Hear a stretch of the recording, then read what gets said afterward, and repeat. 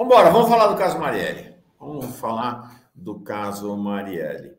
Então, como a gente está sabendo, Flávio Dino anunciou esta semana que, do ponto de vista da operação do assassinato da Marielle, o caso está desvendado, está resolvido com a delação premiada feita por esse que está ao lado do assassino e que colaborou, foi o motorista é, no assassinato da Marielle. Então, o assassino de Marielle como todos sabemos, né, nessa altura do campeonato, não tem mais nenhum segredo em relação a isso.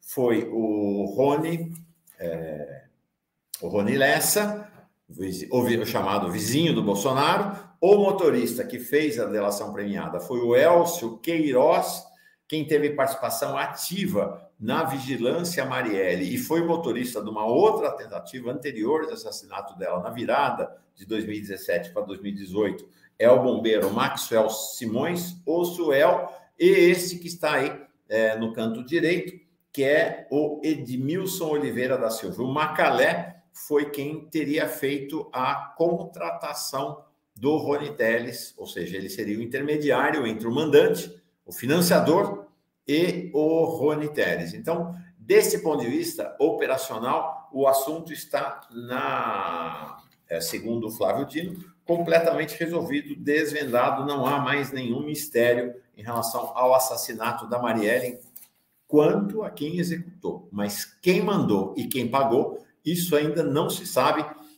E essa é a grande indagação e a grande dificuldade, grande dificuldade das investigações e da operação.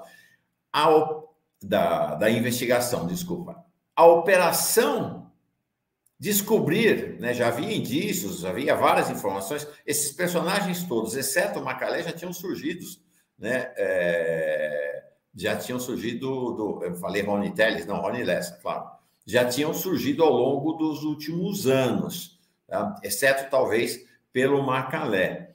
Mas por que, que não andou? Não andou porque quem mandou, quem financiou, são cada vez mais há indícios que são interesses políticos econômicos muito poderosos. E estes interesses políticos é que inviabilizaram a apuração do, da operação assassinato e, é claro, do financiamento e dos mandantes. Esse é o tema a partir de agora, e eu tenho ficado cada dia mais assustado quanto as conexões. Tudo aponta para as milícias do Rio de Janeiro, mas mais do que as milícias, para os políticos que ou comandam, ou são donos, ou são associados às milícias no Rio de Janeiro. É, neste momento das investigações, aponta-se para este clã, né? o clã Brasão o clã Brasão como o clã que deve ter sido, ou que é o mais, é, para o qual há mais evidências de ter sido o mandante, ou pelo menos um dos mandantes do assassinato de Marielle. É um clã com um peso político no Rio de Janeiro e algum peso, inclusive, na esfera federal. Vou contar essa história. O principal líder do clã Brasão é esse da esquerda, Domingos Frazão. Ele foi vereador, ele foi deputado estadual, na Assembleia Legislativa do Rio de Janeiro foi líder do MDB é, e hoje é membro do Tribunal de Contas do Estado do Rio de Janeiro. Ao lado dele está o irmão dele, Chiquinho Brazão, que foi vereador também e hoje é deputado federal do União Brasil. Está tá na Câmara dos Deputados e Deputadas. Aí, na direita, é o terceiro. O nome dele é Manuel, mas ele é conhecido como Pedro, Pedro Brazão. É o menos expressivo deles, mas tem uma relevância muito grande. É o irmão mais velho. Ele foi vereador e hoje é deputado estadual lá no Rio de Janeiro. Ó, vice-presidente da Assembleia Legislativa do Rio de Janeiro, da Alerj. Então, são, esse é o clã, como dá para ver, todos eles, são três irmãos apenas, todos eles metidos na política e no jogo do poder. Da onde vem o poder deles? Da zona oeste do Rio de Janeiro, mais especificamente ali da região de Jara, ja, Jacarepaguá, da região de Jacarepaguá. Vocês estão vendo ali em vermelho, ali é o mapa da cidade do Rio de Janeiro, no canto, ou, nessas áreas aqui, Santa Cruz, Guaratiba, Campo Grande, Bangu, Realengo, Barra da Tijuca, é, Jacarepaguá, tudo isso é a zona oeste do Rio de Janeiro. Tá? Na zona oeste, ali, o destaque para, é, para a região, ali em vermelho, para Jacarepaguá.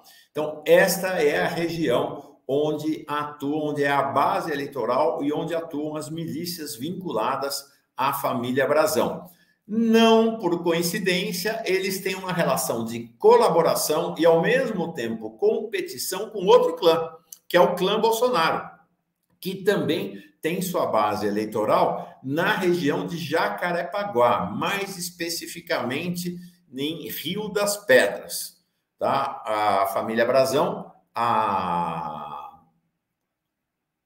a família. Ah, desculpa. Tá? Não, Jacarepaguá realmente é ali no cantinho é, em vermelho. A família Brasão ocupa outras áreas, mas são áreas contíguas. Então há uma relação entre os clãs e as milícias de sua preferência. Da onde vem essa história toda? Por que, que essa história toda começa? Porque vocês estão vendo ali um é, Marcelo Freixo sem barba, um pouco mais gordinho, inclusive. Isso é 2000 e, é primeira metade ou início da década né, início da década, início do século 21. Em 2006, 2007 e 2008, ah, estão me dizendo aqui, desculpa, que é Jacarepaguá é abóbora, é isso aí, desculpa. Jacarepaguá, aqui, abóborinha, prefeito.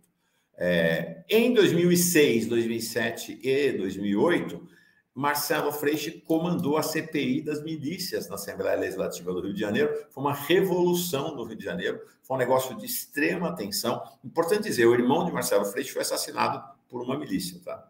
É, no passado, antes bem antes disso. Marcelo Freixo, desde então, é, só anda com proteção policial e o clã Brasão foi denunciado na CPI das milícias. Importante. Quem é que vai trabalhar com Marcelo Freixo? Vocês estão vendo uma foto aí daquela época. A Marielle foi eleita vereadora em 2016, mas 10 anos antes, 2006, ela foi trabalhar no gabinete do como assessora do Marcelo Freixo eh, na Assembleia Legislativa e ela participou né, como assessora da, dos trabalhos da CPI das milícias. Então, ao que tudo indica, o clã Brazão nunca perdoou nem Freixo, nem Marielle por conta da sua indicação, da indicação do clã como envolvido com as milícias no Rio de Janeiro. A ex-procuradora-geral da República, é, a Raquel Dodge, que não pode ser acusada de qualquer simpatia pela esquerda, ela teve um papel decisivo ali no golpe contra Dilma, como Procuradora-Geral da República, então não tem nem qualquer interesse político vinculado ao PT, ao Freixo, à esquerda, qualquer que seja, ela acusou diretamente Domingos Frazão de ser o mandante do crime. Depois ela deu uma recuada, ela disse: não, a gente tem provas de que não, não temos provas de que ele tenha sido o mandante, mas ele interferiu, atrapalhou, procurou criar toda sorte de obstáculo à investigação do crime. Então, ela reafirmou o envolvimento direto dele. Isso aí já em 2018, né? Já em 2018, já em 2019, ela fez essas acusações. E ela disse o seguinte: não anda o processo. O processo tinha que ter sido federalizado. Nunca foi, foi agora, só agora foi federalizado, porque nada anda no Rio de Janeiro. No caso da Marielle, a gente não consegue fazer andar no Rio de Janeiro. Pois bem, as relações entre o clã Brasão e o clã Bolsonaro, elas, elas estão lá no território. Então, há uma vinculação entre os dois clãs por uma milícia. Tem uma milícia que é um traço de união entre os dois clãs, que é o escritório do crime. Né? O escritório do crime é o traço de união, o escritório do crime é a milícia que controla ali boa parte da zona oeste do Rio de Janeiro, né? E o chefe do escritório do crime, vocês estão vendo aí, era o Adriano da Nóbrega, tanto ele quanto a mãe dele, quanto a ex-mulher dele, trabalharam no gabinete do Flávio Bolsonaro. Né? As vinculações dele com o clã Bolsonaro são mais do que conhecidas, e agora ficou-se, fica-se sabendo também da relação do escritório do crime com o clã Brasão. Olha, em 2019, escutas feitas pela polícia, pelo Ministério Público do Rio de Janeiro, é, revelaram as relações íntimas entre o clã Brasão e o escritório do crime, que a gente achava até agora que era propriedade exclusiva do Bolsonaro, do clã Bolsonaro. Então, o que, que acontece? O que, que acontece? É... A família Brasão, daqui, deixa eu achar. Por que, que essa investigação começou? Surgiram informações durante a investigação de que os membros do escritório do crime podiam estar envolvidos pela morte do Marielle, da Marielle. Por isso, a Justiça do Rio autorizou, em outubro de 2018, que a Polícia Civil e o Ministério Público fizessem, grampeassem os telefones desses milicianos lá de Rio das Pedras. E aí, o que, que, eles, que, que eles encontraram? Em 19 de outubro de 2018, um sujeito que é o despachante do escritório do crime, Fábio Campelo Lima, estava com um problema para resolver. Qual era o problema? Ele precisava, ele mantinha um esquema de propina com servidores públicos municipais, então vocês estão vendo então, né? é o escritório, as milícias atuando na prefeitura do Rio de Janeiro, para facilitar a documentação dos imóveis e negócios irregulares da milícia. Porque a gente, né, nós vimos aquele caso do prédio que desabou na Musema, na Musema, as milícias no Rio de Janeiro estão no setor da construção civil. É tudo irregular e eles então pagavam propina para funcionários da prefeitura para regularizar esses imóveis. Então, neste dia, 19 de outubro, um funcionário da prefeitura do Rio tinha cobrado do sujeito do escritório do crime, o Fábio Campelo, para 3 mil reais para liberar um alvará de uma empresa. E ele achou muito alto aquele pedido, achou que estava fora do combinado. Aí ele liga para outro do escritório do crime, Manuel Brito Batista, Cabelo, para tentar é, ver que solução eles poderiam ter. Ele era um gerente do escritório do crime. Aí, no meio da conversa, o Fábio menciona quem? o clã Brasão. E o rapaz lá não deu resposta, não, lá do Brasão, não deu, eu acabei esquecendo. Vou dar uma ligada para ele aqui. Se conseguir isso, vai ser numa boa. Não sei qual foi o acordo aí que fez com você. Eles desligaram o telefone três minutos depois da conversa entre Fábio e Manuel. O Manuel, que é um, um gerente de escritório do crime, liga para quem? João Carlos Macedo da Silva. Quem é João Carlos Macedo da Silva? Assessor parlamentar de Pedro Brazão na Assembleia Legislativa. Então, tá aí. E aí tem a conversa dos dois sobre como é que ele podia ajudar a resolver essa encrenca. Então, tá aí as ligações entre o escritório do crime, crime o clã Bolsonaro e o clã Brazão. Então, eles têm relações na prefeitura do Rio de Janeiro, têm relações no governo do Rio de Janeiro. Importante lembrar. Uh, que se o Brasão foi líder do MDB na Assembleia Legislativa, ano passado o Cláudio Castro também foi do MDB. Vocês estão vendo ali durante a pandemia uma foto do Cláudio Castro com o Pedro Brasão. O Pedro Brasão. Então tem relações de intimidade. Cláudio Castro tem relações com o Domingos Brasão, que é do Tribunal de Contas do Estado, que é responsável por aprovar as contas do governo do Estado. E ele teve um papel importante em tentar impedir que o delegado Leandro Almada assumisse a superintendência da Polícia Federal do Rio de Janeiro. Antes de assumir a superintendência, este delegado teve um papel muito relevante na investigação do crime da Marielle. Eu, a família Brazão, o clã Brazão, fazia pressão enorme contra ele. Cláudio Castro moveu mundos e fundos para tentar impedir, nós contamos essa história ontem aqui, que ele assumisse a superintendência perdeu, foi derrotado, não conseguiu prestar serviço para o clã. Então, isso na esfera, nós vimos então, na esfera municipal, eles têm uma rede de funcionários da prefeitura que presta serviço remunerado para eles. Na esfera estadual, além de, uh, de terem presença na Assembleia Legislativa, né, na Assembleia Legislativa, o líder, o vice-presidente da Assembleia é o Pedro Brazão, o Domingos Brazão foi líder do MDB, tinha, tinha grande influência na Assembleia Legislativa, ele hoje está no Tribunal de Contas do Estado e na esfera federal. Na esfera federal, vocês estão vendo aí nessa foto maior, o Chiquinho Brazão é deputado federal do União Brasil. O Chiquinho Brazão está na base do governo Lula. Incrível. E ele pertence a um grupo de mais quatro parlamentares que são é o grupo liderado pelo Vaguinho. O marido da Daniela do Vaguinho, Daniela Carneiro, que acabou de deixar o ministério do presidente Lula. Então, este grupo de cinco parlamentares, então são eles, o Chiquinho, na foto maior, depois da esquerda para a direita, o Marcos Soares, a Dani Cunha, o nome desse outro que está ali de braços abertos, Juninho do Pneu, então, Juninho do Pneu, é isso aí. E o Ricardo Abrão é o grupo de quatro parlamentares, que é o grupo que estava no União Brasil, a situação deles agora com a saída da Daniela Carneiro e com as negociações, não sei o que vai acontecer. Então, pertencem ao grupo do Vaguinho. O Ricardo Abrão, que está na direita, acabou de perder o mandato porque a Daniela voltou para o Senado. Uma observação é que essa Dani, a, a Dani Cunha, a deputada Dani Cunha, vinha a ser nada menos que filha do Eduardo Cunha. Tá? Mas mais uma observação em relação aos poderes deles.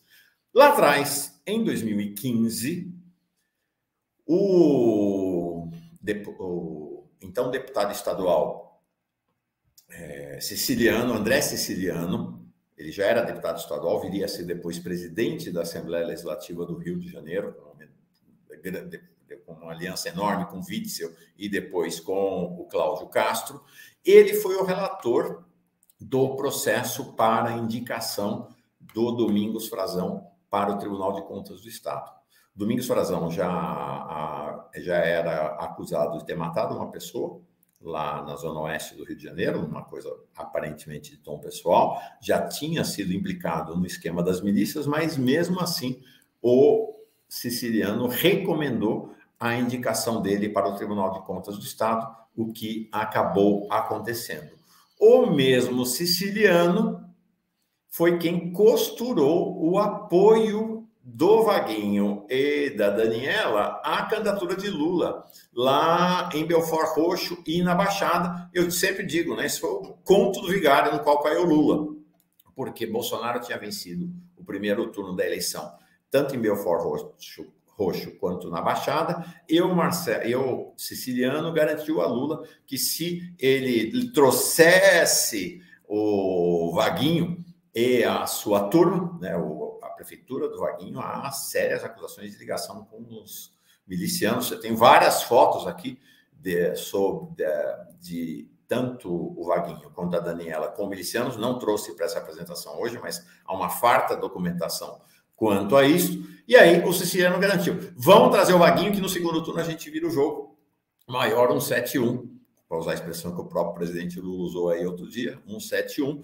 não virou coisa nenhuma, ao contrário, o Bolsonaro venceu a eleição com uma diferença, o segundo turno com uma diferença ainda maior do que no primeiro turno, do que no primeiro turno. Mesmo assim, é, eles foram premiados, né? Esse pessoal, eles foram premiados, vamos lembrar, esta turma aqui, né? Esta turma aqui que tem no seu grupo como um dos líderes do seu grupo. Ó, o Jequinho, essa pessoa é discreta, é esperto, é esperto. O Chiquinho Brasão não fica fazendo discurso lá na frente, não. Atua, ele vai lá comendo emenda, ele vai comendo verba, ele vai fazendo os acordos dele. Mas então, este grupo, vinculado claramente às milícias no Rio de Janeiro, vai, por interferência do André Siciliano, isso é importante que se diga, a indicação da Daniela Carneiro não teve nada a ver, ou Daniela do Vaguinho, não teve nada a ver com União Brasil, é por conta desta relação